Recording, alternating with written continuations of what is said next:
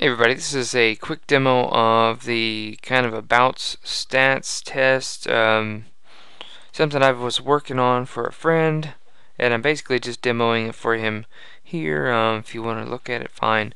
Anyway, it's for our roller derby, and uh, we made a very basic program here in Excel that hopefully we can use with a Windows-based tablet or something that has Excel on it uh, with VBA built in. So basically, what it does is instead of typing in the jammer's name, the pivot's name, the three blockers for that team, and uh, how many points we made, who got lead, whether they got the lead jammer or the or we got the lead jammer.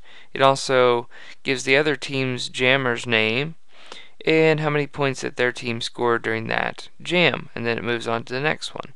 So without further ado, I went ahead and put the date here so that it'll feed into my new user form. So let's click on jam form. Uh, that date brings up all this good stuff here into the list boxes. If I put any random other date, like 122, it wouldn't show up, but 222 is the date of the jam. So these are the list of players for the home and away team that I assigned to that date. And actually, whoops, we're gonna start on jam 1. We're gonna start fresh. Uh, here's how here's how easy this is though, and I, am just imagining somebody tapping this with their finger or just using a mouse on a laptop while at the at the bout. This should save a lot of data entry. So basically, you're going to choose from a from a list of players here who all lined up right now and getting ready to blow the whistle. So you go, okay, this person's out there, this one, this one, uh, this one, and this one. Now you notice that the ones, um, let me back up. Let me take these out. So some of these people have kind of a default or what what's their main uh, forte, and these people are listed as blockers, and then these people are either jammers or jammer slash blockers. So, and you want to mark who's the jammer and who's the pivot, and all the other three people will be blockers by default. So if you go to let's let's just click on this one, this one, this one. You notice that this one the Queen Cobra lit up as green and it automatically selected jammer right here whenever I clicked on her because that's kind of her default as a jammer and we're tracking that. So if I clicked on Shaquille who is also a jammer it would supersede the one I already did and would click here so let's click on Shaquille. Okay so that became our jammer and then we need one more blocker so let's use, use uh, bombshell here so one of these blockers is actually a pivot and that's kind of the leaders of the blockers so to speak. And the jammer is kind of the racer. She's going to be trying to lap the other team.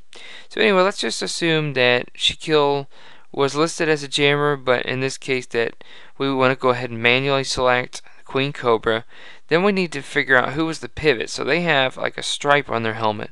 Which one, let's see, okay, this person was the pivot. So that becomes orange. And whichever one you click on becomes orange. So it's kind of a visual cue for you. Finally, we go over here, we go to the other team. And of course, as you saw, if you click on here, any of these, if you click on them, they will be removed back onto the list. And you may click on the other person if that was a mistake formerly. And so it's real easy to change them in and out using the list box here and using these five text boxes that I set up. Then over here you got a jammer, and this the only thing we're tracking for the other team is who's their jammer, because we didn't really care who their blocker was for this exercise. So let's say their jammer was troublesome for this spout, and you say, oh, that's a mistake. Just click on this again and change it out, or simply just click on whoever you want and it'll populate this text box here. So their jammer was troublesome.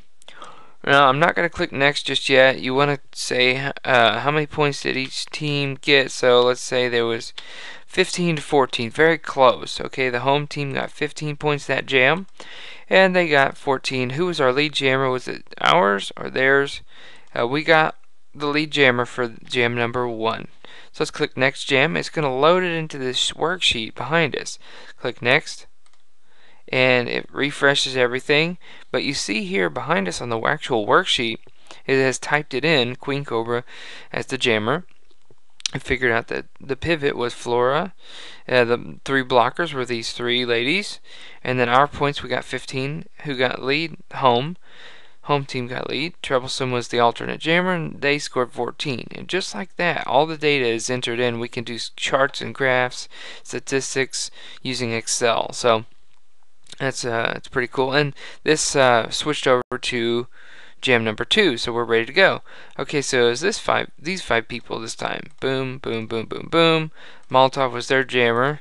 Okay, it's the end of the jam, so we found it was uh, 18 to 20, and the away team got it, but uh, they had the lead. So you click next, and you're ready to go again. Do do do do do do do do. No, it was actually Sue Bob was jamming. It was five to five, and we got lead. Boom. So let's take a look at what we just did. We just entered all this data over here.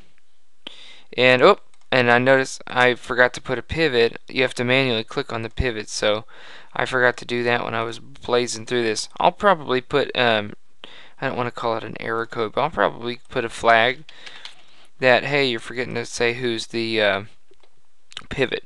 So when they click this, it'll say, be sure and click a pivot and you uh, then you go back and go, oh yeah, that's right, this person was the pivot, and then you can proceed. But anyway, it's just a lot of data entry that you are not having to do. You just click a couple things and boom, you're done. And you get back into the game immediately by clicking on this jam form, which even if you scroll way down, you can access. Boom. Okay, so that's pretty much it. Thanks for watching. I uh, hope this helps somebody. If it doesn't, oh well, it was good practice for me. So, thanks for watching. God bless.